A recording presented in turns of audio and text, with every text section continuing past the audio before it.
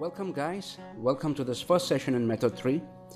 So in this session we're going to prepare our image for this particular method of typography.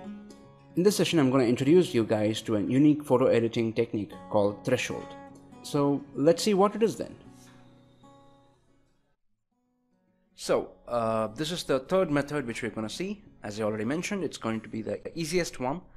So let's get uh, directly into it. So as I already mentioned, uh, the first thing which we're going to see here is threshold.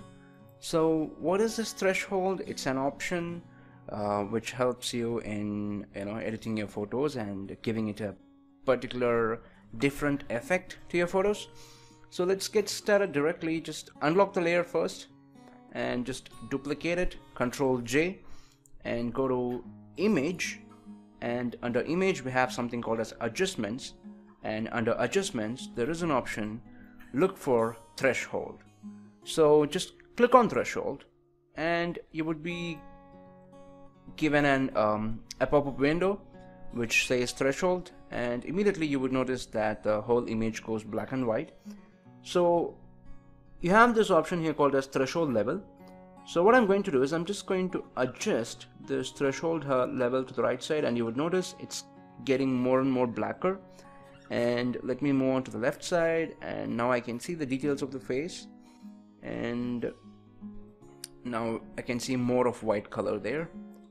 So what I would like to do here is I'm going to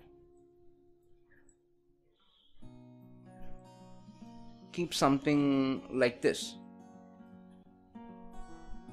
I'm going to keep something like um, let's say something like this yeah approximately 60 maybe.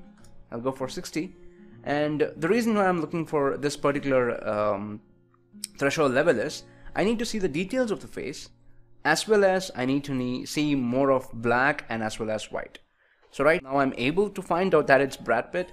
So so I think this is a particular ideal level for this threshold.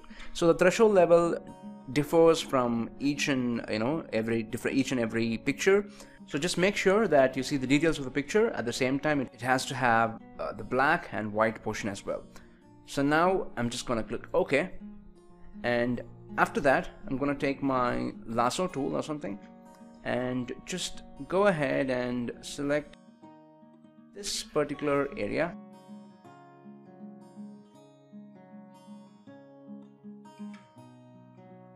select this outer black portion I don't want that black portion to be there.